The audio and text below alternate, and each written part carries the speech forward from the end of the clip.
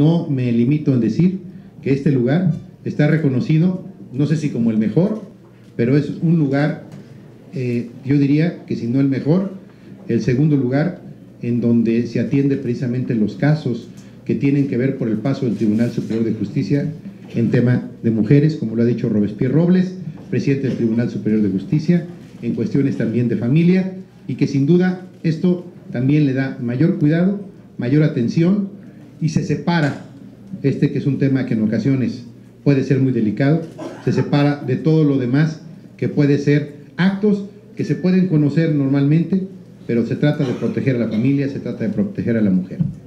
Quiero expresar mi reconocimiento, quiero reiterar lo que para mí representa este día, una valoración del papel tan importante de la mujer en el desarrollo del país, en el desarrollo del Estado y en todas las eh, partes donde ustedes colaboran, se desenvuelven.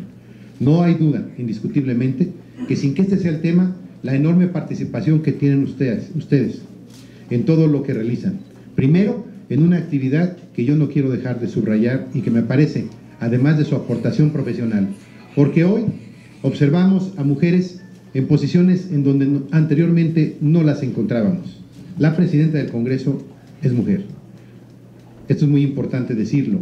Hay muchas posiciones en donde hay ahora más actividad de mujeres. La propia Cámara de Diputados tiene más mujeres. Los ayuntamientos tienen más presidentas municipales mujeres. Hay magistradas, mujeres que lo hacen además con una gran profesionalización su trabajo en sus áreas correspondientes de impartición de justicia. Hay ministerios públicos mujeres. La mujer tiene cada día mayor presencia. Y el recordar el Día Internacional de la Mujer vale la pena también decir el papel que juegan en la familia.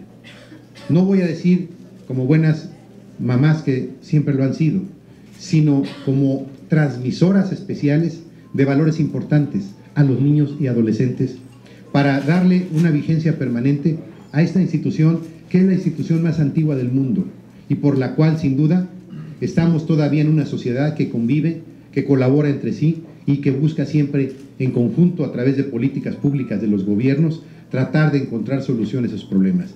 Me refiero al papel que juegan las mujeres como madres de familia en la orientación, en la educación, fundamentalmente de los hijos. Muchas gracias. Celebremos así el Día Internacional de la Mujer. Gracias.